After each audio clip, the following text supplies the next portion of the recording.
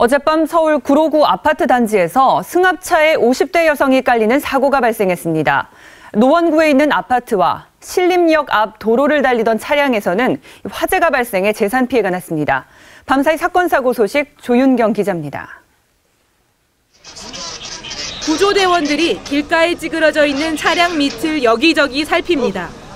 어제 오후 6시 22분쯤 서울 구로구 개봉동의 한 아파트 단지 내에서 54살 이모 씨가 몰던 렉스턴 차량이 지나가던 50살 김모 씨를 치는 사고가 발생했습니다.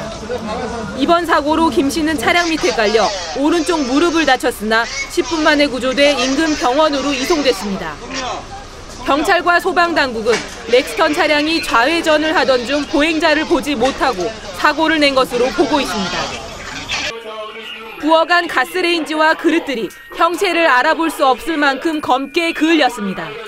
어제 오후 서울시 노원구의 15층짜리 아파트 4층에서 불이 났습니다.